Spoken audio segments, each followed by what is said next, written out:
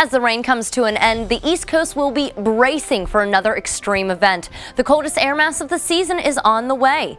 Back in October, expert long-range meteorologist Joe Bastardi warned in his winter forecast that winter will come early for those in the Northeast and the Mid-Atlantic. Though those regions would not see a repeat of the extreme winter of 2010, the Northeast and Mid-Atlantic would have a very cold and snowy December.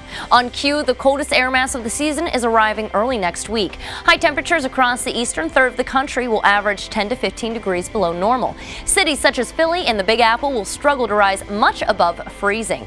The cold air will produce heavy lake effect snow. Across the snow belts of Lakes Erie, Ontario, and Michigan, they can easily, easily receive 1 to 2 feet, while ski resorts from New York to Western Virginia will receive much needed snow. This cold is expected to linger throughout most of December, so get your gloves, jackets, and hats ready. With AccuWeather.com, I'm Alex Rabb.